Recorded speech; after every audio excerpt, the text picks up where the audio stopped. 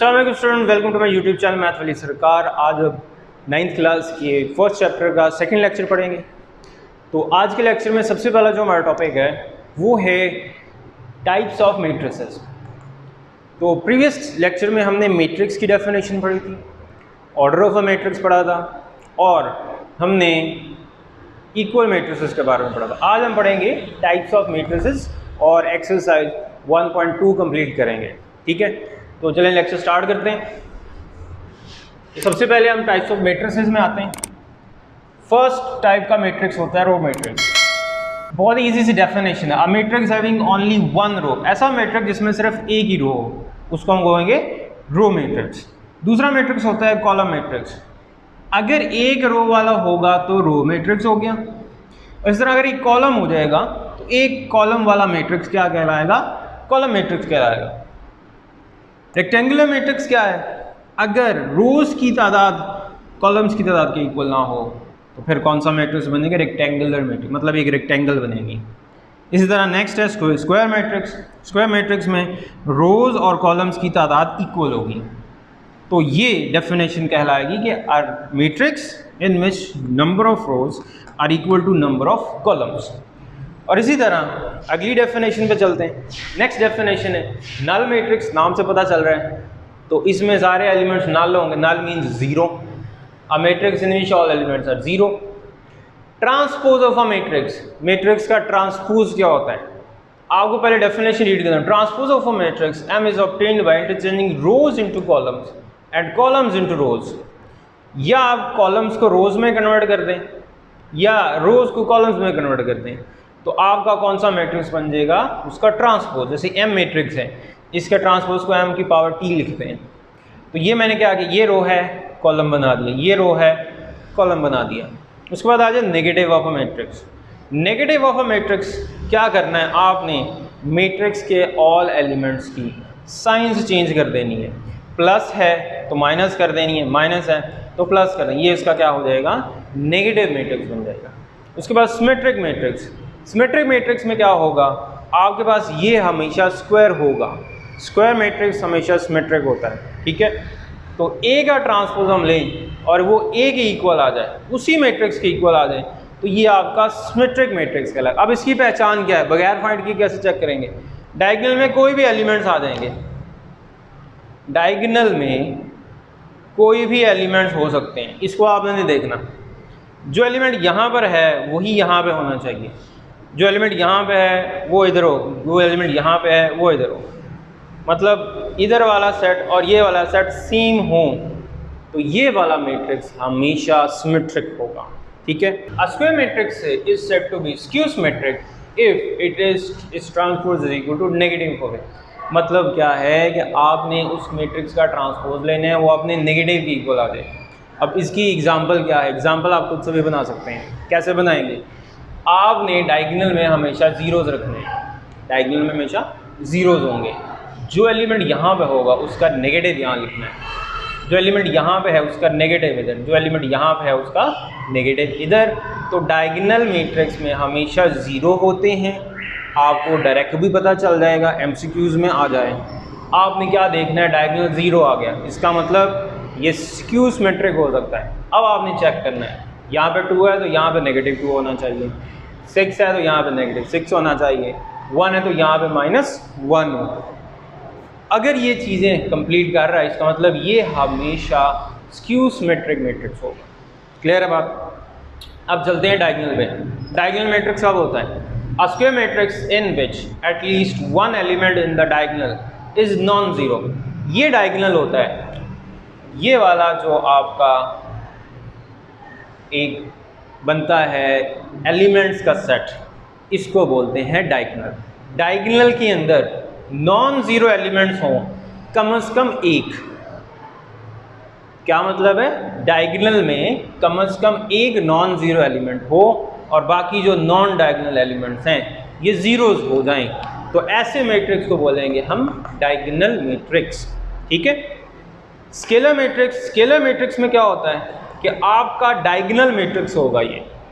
Diagonal matrix में सारे बाकी के एलिमेंट ज़ीरो होते हैं। डायगनल के अंदर एक जैसे एलिमेंट्स आ जाए नॉन ज़ीरो एलिमेंट्स हो जाएँ, जैसे seven seven seven six six two two तो ये कौन सा मैट्रिक्स कहलाएगा?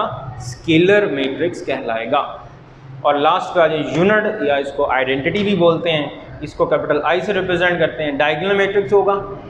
और एलिमेंट सारे के सारे डाइगनल के अंदर क्या होंगे? वन यूनिट का मतलब होता है वन तो ऐसे मैट्रिक्स को हम बोलेंगे यूनिट मैट्रिक्स या आइडेंटिटी मैट्रिक्स अब हम exercise one point two start करते हैं।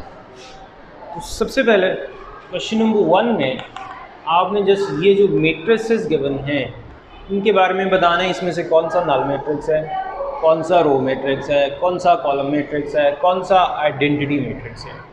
तो आपको डेफिनेशन भी सारी बता दी हैं। अब हम इनकी टाइप्स बताएँगे। जी, पहला कौन सा होगा? जी बिल्कुल ठीक ये है नल मैट्रिक्स जी बेटा जी सेकंड सेकंड रो मैट्रिक्स है। थर्ड वाला। कौन सा है जी? थर्ड वाला कॉलम है।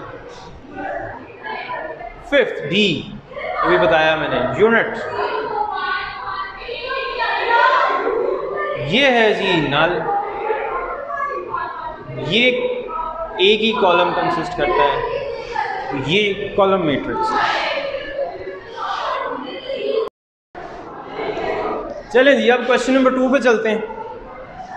क्वेश्चन नंबर टू में आपको बताना है कौन सा रेक्टेंगुलर है, कौन सा कॉलम है, कौन सा स्क्वायर है, कौन सा नल कौन सा आपके पास यूनिट है। तो इन क्वेश्चंस में सिर्फ़ आपने इनकी टाइप्स बतानी है। चलें पहला। हाँ जी, पहला कौन सा है? टू रोज थ्री कॉलम्स कौन सा हो गया? रेक्टेंगुलर हो गया। ठीक हो गया जी? ये वाला कौन सा है जी? कॉलम तो बस इसको आपने बुक पर ही कर लेना है। ये सिर्फ़ आपको प्रैक्टिस करवाई जा रही है कि कौन सा मैट्रिक्स किस टाइप का है। तो आपने बस ये बताते जाना ये बेटा जी टू रोज टू कॉलम्स कौन सा हो गया? स्क्वायर ये हो गया जी यूनिट डायगनल में वन है, बाकी सारे ज़ीरो हैं. दो कॉलम्स हैं, तीन रोज हैं तो कौन सा हो गया? रेक्टेंगुलर ये एक ही रो आ रही है, कौन सा हो गया जी? रो एक ही कॉलम है, कौन सा है? कॉलम अब इसमें आप ये कह रहे होंगे कि ये रेक्टेंगुलर भी है, बिल्कुल ठीक है, लेकिन जो उसकी रेक्टेंगुलर के साथ साथ ये कॉलम मैट्रिक्स बनता है। ये भी रेक्टेंगुलर है, लेकिन एक स्पेसिफिक टाइप जो मखसूस टाइप जो है, वो कौन सी है? वो रो भी है। रेक्टेंगुलर भी कह सकते हैं, लेकिन आपने सिर्फ़ जो बेस्ट आंसर है, वो देना है। इसमें रोज़ और कॉलम्स की तादाद सेम है तो स्क्वायर हो गया। ये कौन सा है? ऑब्वियस बात है, सारे ज़ीरोज़ हैं। तो नल मैट्रिक्स हो गया। ठीक है? क्लियर है बात? अब चलते हैं क्वेश्चन नंबर थ्री में क्वेश्चन नंबर थ्री में आपने बताना है डायगनल कौन सा है आइडेंटिटी कौन सा है और स्केलर कौन सा है। सबसे पहला कौन सा है जी? ये डायगनल है और उसके साथ साथ स्केलर बनेगा। जो इसकी प्रॉपर बनेगी जी डेफिनेशन है, वो बनेगी जी, ये स्केलर है। ठीक है? ये आपका डायगनल है, इसमें कोई दो एलिमेंट सेम नहीं आ रहे तो ये ओनली डायगनल है। तो जो बेस्ट आंसर है वो देना है। इसमें डायगनल तो है, लेकिन ये यूनिट बनेगा, क्योंकि तमाम एलिमेंट्स इसके वन है डायगनल में। ये आपका देखो एटलीस्ट वन नॉन ज़ीरो तो एक नॉन ज़ीरो आ गया, बाकी ज़ीरोज़ हैं तो ये भी कौन सा हो गया? डायगनल ठीक है? तो ये आपके हैं जी क्वेश्चन क्वेश्चन नंबर थ्री में ये बताना है आपने. ये तो खैर जस्ट टाइप्स बतानी थी. अब आ जाए जो प्रॉपर क्वेश्चन है, जो क्वेश्चन पेपर में आ जाता होता है.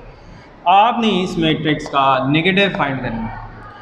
आपको बताया था डेफिनेशन बेटा याद रखनी है. डेफिनेशन जो हैं, ये बहुत इंपॉर्टेंट होती है. तो आपने इसका नेगेटिव निकालना नेगेटिव को कैसे रिप्रेजेंट करते हैं? माइनस बी से आपने क्या करना है? इसके तमाम एलिमेंट्स की साइंस चेंज कर देनी है। ये माइनस हो गया, ये प्लस हो गया, ये माइनस हो गया, ये भी माइनस हो गया। तो किसी भी मैट्रिक्स का नेगेटिव कैसे निकालना है? आपने उसके एलिमेंट्स की साइंस चेंज कर देंगे प्लस को माइनस बना देना है माइनस को प्लस बना देना है। ओके जी? चलें जी next question question number five transpose find करना है आपने। अब आपने इनके ट्रांसपोज फाइंड करने हैं। देखो इसके ट्रांसपोज को मैं ए टी से रिप्रेजेंट करूँगा। अब आपको एक कॉलम दिया जा रहा है। या तो कॉलम्स को रोज़ में कन्वर्ट कर दें, या रोज़ को कॉलम्स में। तो मैं ऐसे कहता हूँ, ये पूरी रो जो है ना, इसको कॉलम में कन्वर्ट कर देता हूँ। लो जी, ये इसका ट्रांसपोज हो गया। इसी तरह, इसका ट्रांसपोज लेना है आपने। बी का ट्रांसपोज ये रो है, इसको मैं कॉलम बना दूँगा। ये हो गया इसका ट्रांसपोज। सी मैट्रिक्स इसका आपने ट्रांसपोज लेना है। इसको ज़रा समझ लो। ये रो है, ये रो है, ये रो है। या तो रोज़ को कॉलम्स बना दे। मैं क्या करूँगा?